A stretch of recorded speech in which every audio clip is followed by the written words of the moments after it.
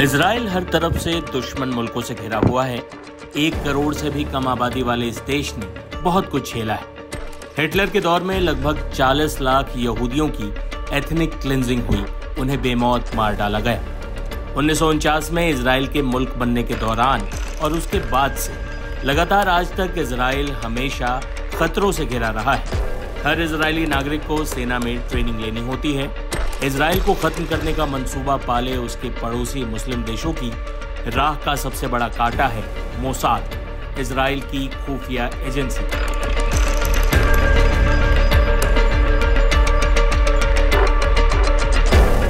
दुनिया की सबसे खतरनाक और बेरहम मानी जाने वाली इसराइल की खुफिया एजेंसी मोसाद की पेजर ब्लास्ट टेक्निक पूरी दुनिया में चर्चा का विषय बनी हुई है।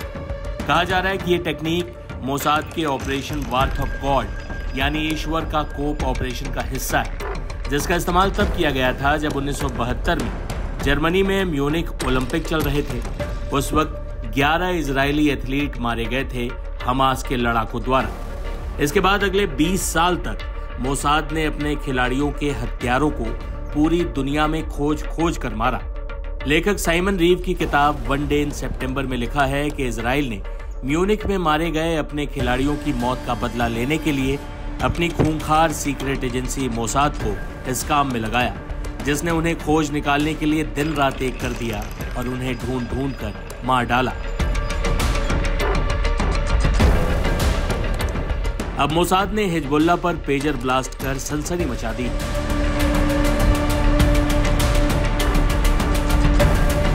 हालाँकि इस हमले का जिम्मेदार इजरायली सेना की यूनिट 8200 को बताया जा रहा है, लेकिन इसराइल की सबसे बड़ी खुफिया एजेंसी मोसाद के बिना कोई भी ऐसा मिशन अंजाम नहीं दिया जा सकता।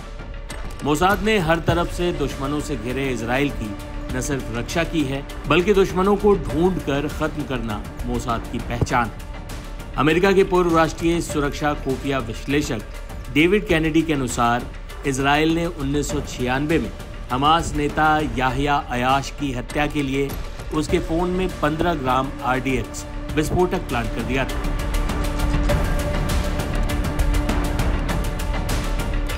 इस डिवाइस में उस समय विस्फोट हुआ जब याहिया ने अपने पिता को फ़ोन किया।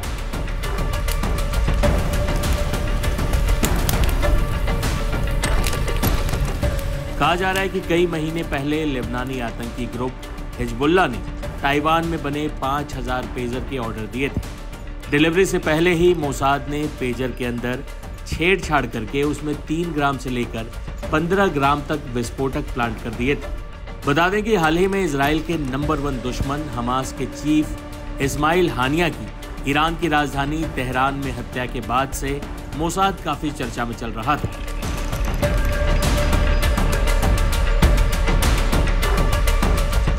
तब यह बताया गया था कि इसराइल के किसी अनजान ठिकाने से मोसाद ने आर्टिफिशियल इंटेलिजेंस की मदद से हानिया की हत्या को अंजाम दिया। उस दौरान सेटेलाइट इमेज की भी मदद ली गई थी। मोसाद को खुफिया जानकारी जुटाने, सीक्रेट मिशनों को अंजाम देने और आतंकवाद विरोधी कार्रवाई के लिए सालाना 2.8 बिलियन डॉलर का बजट दिया जाता है। इसमें लगभग 7000 लोग काम करते हैं जो इसे दुनिया की सबसे बड़ी जासूसी एजेंसियों में से एक बनाता है। मोसाद अपनी रिपोर्ट केवल इसराइल के प्रधानमंत्री को सौंपता है। हालाँकि न तो इसराइल ने, न ही मोसाद ने पेजर धमाकों में अपनी संलिप्तता स्वीकारी है। ऐसे मिशन की ज़िम्मेदारी मुल्क अमूमन लेते भी नहीं इस हमले की अन्य बारीकियाँ बता रहे हैं हमारे संवाददाता।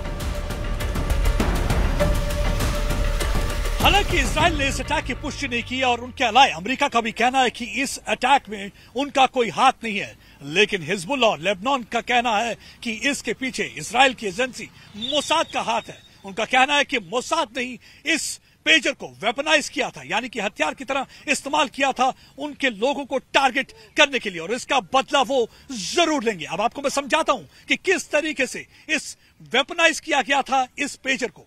बताया जाता है कि हिजबुल्ला ने हाल ही में एक कंसाइनमेंट मंगवाई थी। ये कंसाइनमेंट एक ताइवान की कंपनी से मंगाई गई थी। बताया जाता है कि इसका एक यूरोपियन डिस्ट्रीब्यूटर है। जैसे ही ये कंसाइनमेंट आती है, बताया जाता है कि मोसाद यानी कि इसराइल की खुफिया एजेंसी ने इस जो कंसाइनमेंट को है इंटरसेप्ट कर लिया और इस पेजर के अंदर बताया जाता है कि उन्होंने विस्फोटक सामान डाल दिया और उसके साथ साथ एक स्विच लगा दी ताकि रिमोट कंट्रोल द्वारा उस पेजर को विस्फोट किया जाए और हिजबुल्ला के लड़ाकों को टारगेट किया जाए। यही एक वजह है कि एक हज़ार से ज़्यादा हिजबुल्ला के जो लड़ाके हैं वो इसमें पूरी तरह से जख्मी हो चुके हैं और उसके बाद से खौफ का मंजर है। उसके बाद से कहा गया कि वायरलेस का भी इस्तेमाल ना करें। पहली बार नहीं है जब रिमोट कंट्रोल डिवाइस का इस्तेमाल किया गया है। पहले भी देखा गया है कि किस तरीके से उन्होंने कम्युनिकेशन नेटवर्क को विस्फोट की तरह इस्तेमाल किया है। बताया जाता है कि 2020 में एक ईरान के न्यूक्लियर साइंटिस्ट को एक रिमोट कंट्रोल द्वारा मशीन गन से मार दिया गया था। उसी तरह हाल ही में हमने देखा है कि किस तरीके से